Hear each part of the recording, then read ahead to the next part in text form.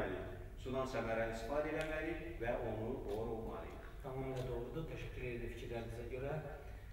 Çingiz müəllim, e, Azərbaycanda su ehtiyatlarına, e, belə deyək də, e, ümumiyyətlə su sisteminin idarə edilməsinə bir e, səhmdar cəmiyyət baxır. Azərsu e, açıq tipli səhmdar cəmiyyət. Əslində bunun səhmlərinin müəyyən e, bir hissəsi də dövlətə məxsusdur. E, və dövlət büdcəsindən də həm bu qurum, həm də meliorasiya su təsərrüfatı, bu suvarma sularına da ikinci başqa bir qurum baxır. Və bunlar dövlət büdcəsindən ən çox maliyyə alan qurumlardır. Digər bir tərəfdən də bu günləri əhalinin, əhalidən yığılan o kommunal vergiləri içərisində su pulu daha çoxdur.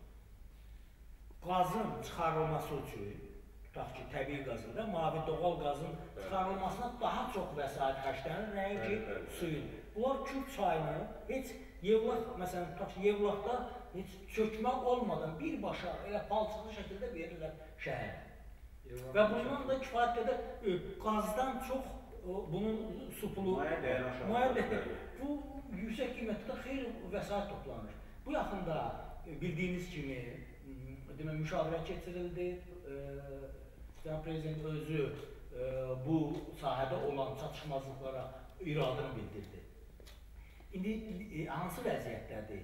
Azərbaycanda bu həm təsərrüfat suyunun, həm içməli suyun idarə edilməsinin insanların sağlamlığına nə dərəcədə təsiri var? Bununla bağlı fikirləriniz maraqlı olar.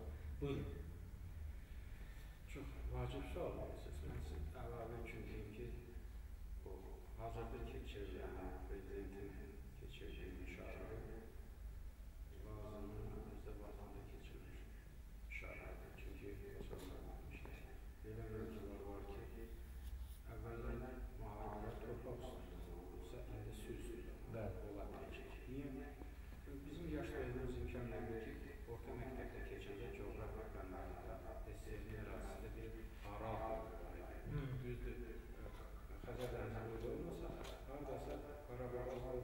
körfəzi həcmində bir Həm də dərinliyi var. Orta Asiyanın suvarmadan işte istifade edildiği